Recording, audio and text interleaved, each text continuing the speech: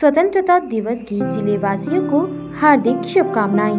निवेदक रजनी बाई सरपंच, बाबू पुरी सचिव, ओम प्रकाश रोज़गार सहायक, ग्राम पंचायत, चिचोली, जनपद पंचायत, सिलवानी, जिला रायसेन।